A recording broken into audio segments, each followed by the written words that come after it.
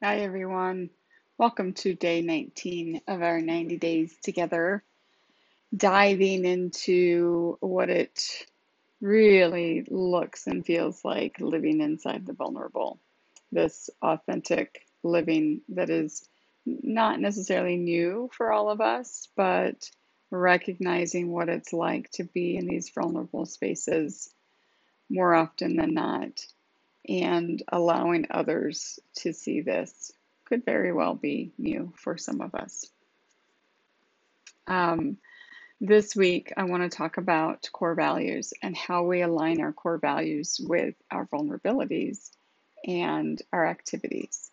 Not just our activities for self care, but the things we choose to do and the things we have to do, like work, um, things we choose to do, like spending time with people uh, or how we spend time with people or how we spend our time. And certainly with self care as well, because that's really the core of living inside the vulnerable is knowing where we are, being aware of our vulnerabilities and, and the spaces that make us the most comfortable and the spaces that make us feel a little less comfortable and allowing others to see us exactly where we are. So, as we align our core values with our vulnerabilities and align those with our activities, we become a little more aware of how we feed vulnerabilities, where we feed our values, where we feed our soul, where we feed gratitude, or we feed something more negative. So let's dive into that for a little bit. Um, my first suggestion would be to pick what's most important to you as far as your values are concerned. Write down a handful of your most important core values integrity, respect, or the loyalty, um, responsibility, accountability, you know, any of those things. That, that may have been five, I'm not sure.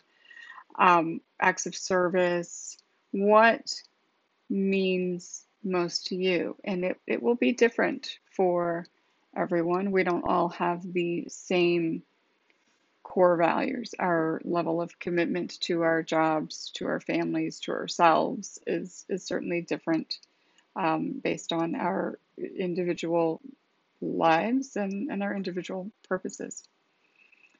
Um, so, if you can, write down a handful of the core values that mean the most to you. And then think about your days and maybe even the coming week and see how you can align those values with your activities. So if one of your core top core values is integrity, how are you placing integrity at the top of your list in your activities? So in your job, in your grocery shopping, in your running errands, in your housework, in your family meals, and whatever activities you do, in your self care, in your trips to the gym, in your meditation, and whatever you do, in your talks with neighbors, your walks around the neighborhood, how do you fit integrity into those activities? And pay attention to how often integrity comes up in your mind when you think of those things you do. Again, I mentioned integrity because it was just obviously it's one of my top core values, but any values, you don't have to say integrity. How do your values line up with your activities?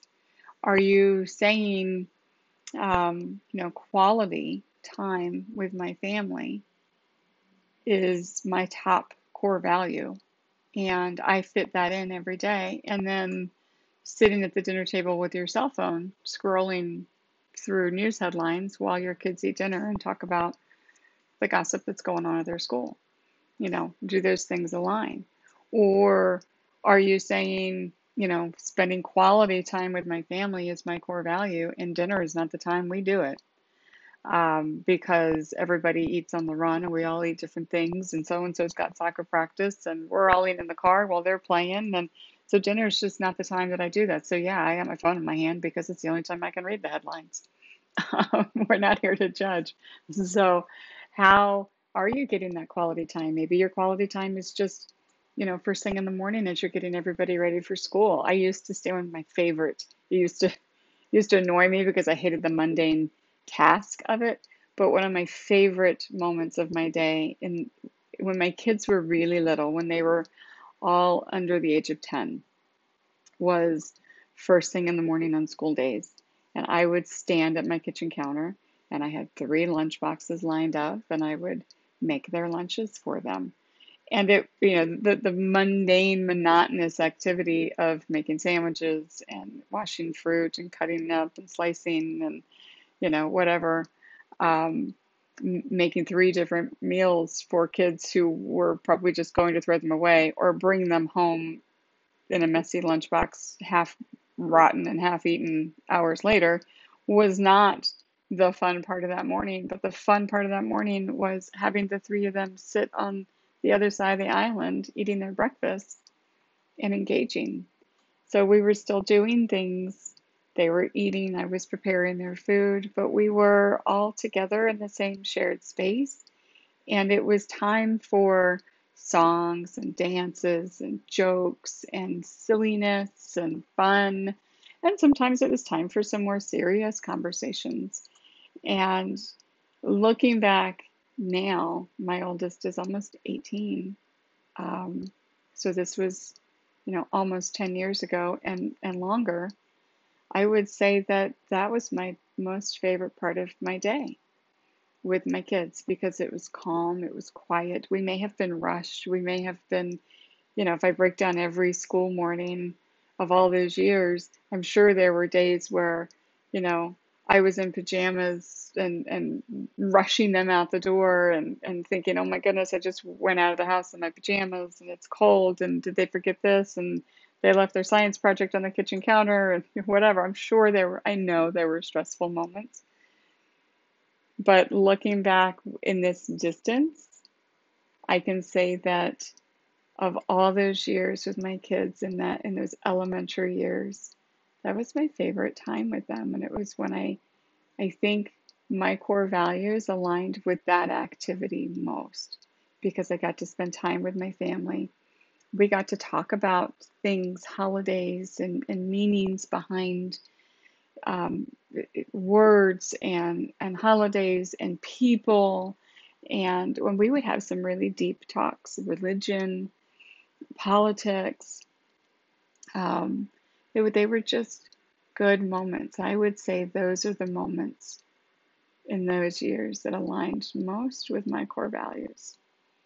And, you know, so yours might be different. I brought up dinner earlier, but it that wasn't to judge whether or not you bring your cell phone to the dinner table. Sometimes that's the only time we all get to scroll our cell phones. So have at it if that's what you do. But think about your activities this week and think about them today and how do your activities align with your core values?